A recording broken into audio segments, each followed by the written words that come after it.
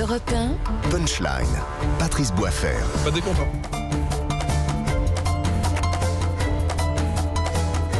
Bonsoir à tous, merci de nous rejoindre effectivement pour cette dernière partie de Punchline. Place au débat avec mes invités, avec Jacques Serret du service politique d'Europe 1. Merci beaucoup, merci d'être avec nous. Louis Osalter, journaliste politique chez Marianne. Bonsoir Patrice. Bonsoir mon cher Louis et Amine El Khatmi. Fidèle. Et je vous ai surpris. Vous, euh, vous dormez Non, non, non, ça va je vous attendais. Vous êtes venu en écharpe, il fait un peu froid sur ce plateau. Il fait un peu il froid. fait un peu froid. Oui. Il fait toujours un petit peu froid, président du, du printemps républicain. Euh, si ça ne vous dérange pas, on va parler un petit peu des parrainages, parce que effectivement la situation ne s'arrange pas, en tout cas euh, pour euh, certains candidats. On a entendu notamment Marine Le Pen suspendre sa campagne, puisqu'elle prend effectivement ce dossier parrainage très très au sérieux. On va écouter Jean Castex depuis l'Assemblée nationale qui a lancé un, un véritable appel aux élus. Je voudrais à mon tour, mesdames et messieurs les députés, euh, lancer un appel aux élus qui ont la possibilité d'apporter leur parrainage en leur disant tout simplement, après d'autres, ceci, le fait d'accorder son parrainage à un candidat n'est pas automatiquement synonyme de soutien politique. C'est aussi un acte démocratique. Euh, J'ai choisi d'inviter à une réunion l'ensemble des associations d'élus locaux en présence du président de l'Assemblée nationale et du président du Sénat qui ont accepté de se joindre à mon invitation. Je les recevrai jeudi matin pour que nous évoquions ensemble cette situation dans le respect évidemment de la liberté de chacun, mais parce que, comme vous l'avez dit, Madame la députée, il y a un sujet profondément démocratique. Louis Osalter de Marianne, 442 parrainages pour Jean-Luc Mélenchon, 422 pour Nicolas Dupont-Aignan, 393 pour Marine Le Pen, c'est 350 seulement pour Éric Zemmour. Euh, L'appel de Jean Castex aujourd'hui depuis l'Assemblée nationale, ça peut changer la donne? C'est un Peut-être. peu tard Peut-être. euh, bah, le mois de février se termine tôt, hein, comme on le sait. Il y a moins de jours. Euh, donc le 4 mars, c'est dans, c'est dans une dizaine de jours, tout simplement. Donc et là, euh, bon, bah clairement, ce n'est plus du bluff, hein, du, que ce soit du côté de Marine Le Pen, d'Éric Zemmour, de Jean-Luc Mélenchon. Ils sont vraiment très fébriles et même un peu surpris. Je crois du côté de Marine Le Pen, il y a une sorte de surprise chez eux. Hier, il y a une réunion de, de crise autour de Ça s'est Marine Le bien Pen. passé hein, au bureau. où les murs ont entendu Ouais. voilà, des, Ouais. des- les, les noms d'oiseaux volés Parce que les parrainages n'arrivent pas. Alors, le problème des candidats, c'est que depuis euh, que François Hollande euh, a légèrement modifié les modalités du système Mhm. euh, sous son quinquennat, ce n'est plus eux qui envoient les parrainages. Ils doivent, eux, regarder. Ils sont comme nous, en fait. Ils regardent le Conseil constitutionnel qui publie deux fois par semaine la mise à jour de la liste des, des parrains pour chaque candidat. Et c'est eux-mêmes qui constatent, comme tout le monde, à combien ils en sont et où est le, la jauge. Ce n'est plus eux qui envoient les formulaires. Ce sont les élus, ce sont les maires qui parrainent, qui doivent directement envoyer leur formulaire au Conseil constitutionnel. Du coup, ils sont dans l'inconnu et c'est pour ça qu'il y aurait cette réunion de crise autour de Marine Le Pen hier et qu'elle a annoncé qu'elle suspendait ses opérations de terrain euh, euh, de sa campagne pour se consacrer au parrainage. C'est parce que eux-mêmes, en fait, euh, ne, Mmh. ne- ne peuvent que appeler les maires, les encourager et voir les candidats, les parrainages, pardon, atterrir sur le bureau du Conseil constitutionnel. Est-ce que le- le- l'appel de Cassac changera la donne? Sûrement. Il y a aussi Bayrou qui a mis en réserve un certain nombre Oui, de parrainages pour les donner. Mais on arrive, quand même, on arrive quand même à cette situation ubuesque où le pouvoir est obligé, pour que l'élection démocra- pour que l'élection présidentielle se passe dans des bonnes conditions, le pouvoir, le président, le gouvernement sont obligés, euh, de, en quelque part, de donner les parrainages, en tout cas d'encourager les maires à les donner, pour qu'il n'y ait pas de, de scandale démocratique le 4 mars. Jacques Serret du service politique d'Europe 1, est-ce que le, le grand bluff a laissé place au, au grand stress? Ouais, alors c'est tout à fait louable de la part de Jean Castex d'essayer de mobiliser tout le monde à, à 10 jours de l'ultimatum finalement du 4 mars.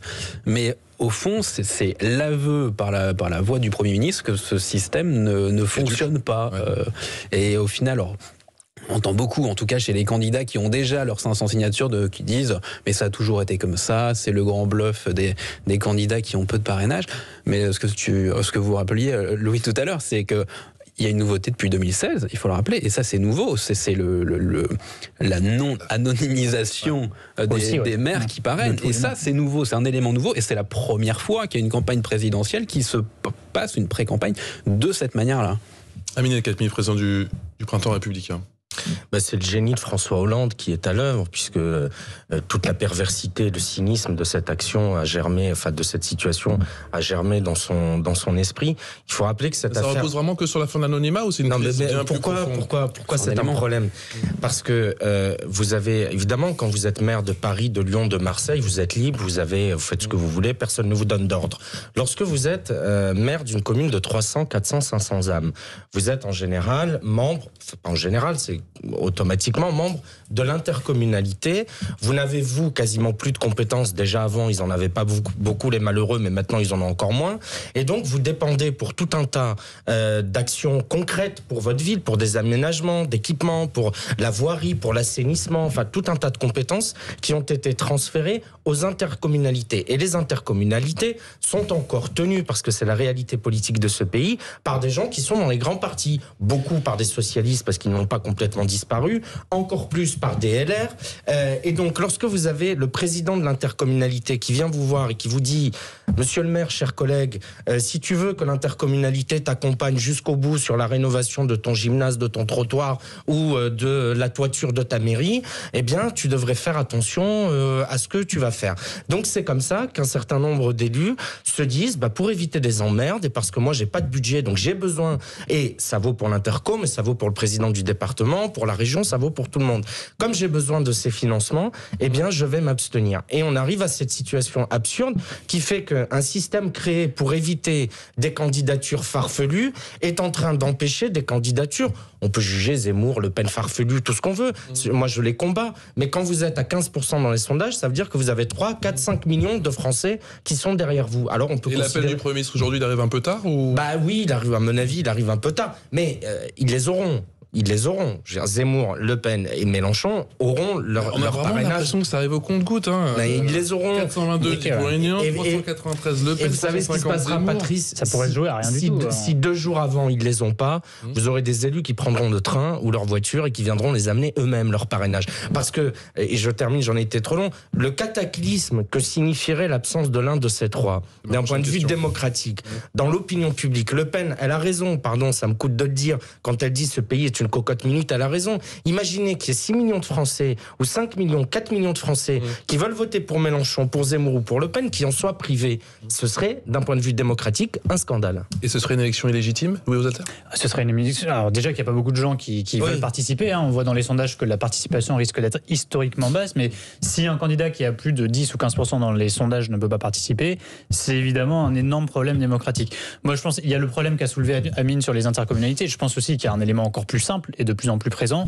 Euh, la plupart des maires en France sont des maires de petites communes. Ce sont des maires de villages pour les qui ne sont pas dans la vie politique à proprement parler. Ce ne sont pas des gens qui se sont engagés euh, pour un candidat ou même pour une cause. Ce sont des gens dévoués qui veulent simplement, euh, qui s'occupent de leur commune euh, parce qu'ils l'aiment bien, parce qu'ils aiment les habitants et puis parce qu'il faut bien des maires. Euh, même dans un village de, de 50 habitants, il faut bien un maire. Et quand vous êtes maire d'une petite commune, bah, vous êtes là pour gérer l'assainissement, la voirie, le, le- le voisinage, l'école, tous les problèmes qui, qui se posent à un, un échelon local. Mais vous n'avez pas forcément envie que vos administrés vous croisent dans la rue en disant mais dis donc t'as parrainé machin alors que Oui. euh, ce sont des maires apolitiques parce que dans toutes les petites communes les maires n'ont aucune étiquette et de plus en plus ces maires-là ne veulent pas prendre le risque de s'engager pour un candidat a fortiori pour un, un candidat qui serait plus clivant peut-être que, Bah que, oui. que d'autres parce qu'ils ont été élus pas du tout sur une étiquette politique mais parce que euh, bah, il faut bien élire un maire dans la commune Ouais. et que ce sont eux qui se sont dévoués encore une fois et c'est peut-être là que le, le système euh, euh, des parrainages est à revoir. Louis Holter, Jacques Serret et Amine Capi, vous restez bien évidemment avec nous. On se retrouve dans un instant pour la suite des débats de Punchline. On parlera également, forcément, crise ukrainienne avec les premières sanctions qui viennent de tomber. Est-ce efficace, oui ou non? Est-ce que Vladimir Poutine les craint vraiment, ces sanctions? On en parle dans un instant.